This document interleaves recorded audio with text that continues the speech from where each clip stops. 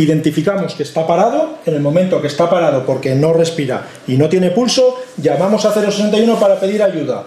Una vez que hayamos pedido ayuda, decimos dónde estamos y empezamos continuamente a hacer las maniobras de RCP. Buenos días, David.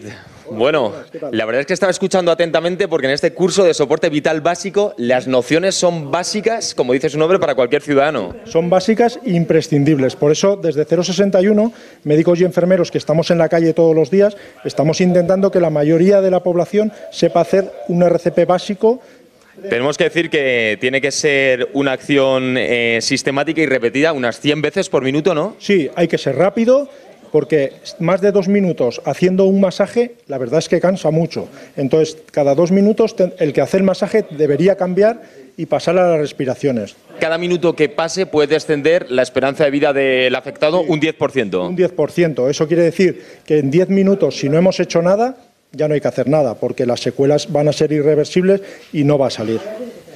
Le estamos haciendo un masaje porque hemos hecho las medidas oportunas y hemos visto que no respiraba.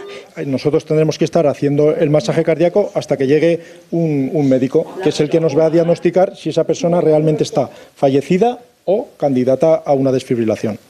El desfibrilador no tendría este botón verde de encendido. Correcto. Todos los fibriladores funcionan igual botón verde de encendido y escuchar lo que nos dice. Tenemos una pantalla en la que nos va diciendo los pasos. Quitamos la ropa, sacamos los parches, los parches se colocan como pone en el dibujo. Ahí tendríamos ¿no? las partes en las que habría que ubicarlas. Efectivamente, no tiene fallo porque nos lo dice claramente. Escuchamos lo que nos dice, colocamos eh, la clavija en su sitio, solo tiene una posición, detecta la fibrilación y carga.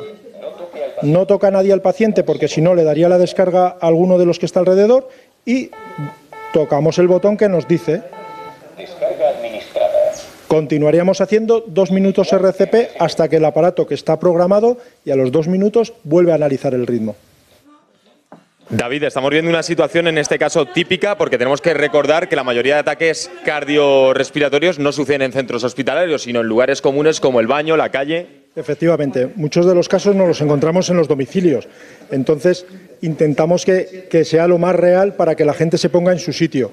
Se calcula que una de cada cuatro muertes se podrían evitar si se tienen los conocimientos que se están impartiendo aquí. Efectivamente, los tres, cinco primeros minutos después de una, de una parada cardíaca es súper importante porque el desfibrilador es cuando hace su efecto real.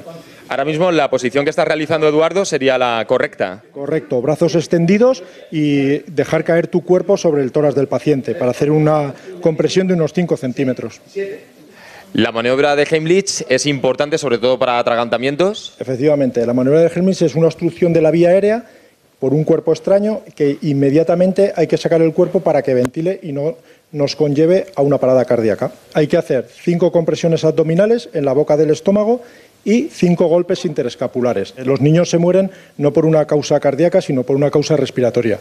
Muchas veces cuerpos extraños como juguetes de los hermanitos mayores se lo tragan y entonces fallecen por, por eso. Es importante sacar el cuerpo extraño con la maniobra que está haciendo ahora Pilar. ¿Hay tres causas de muerte inminente?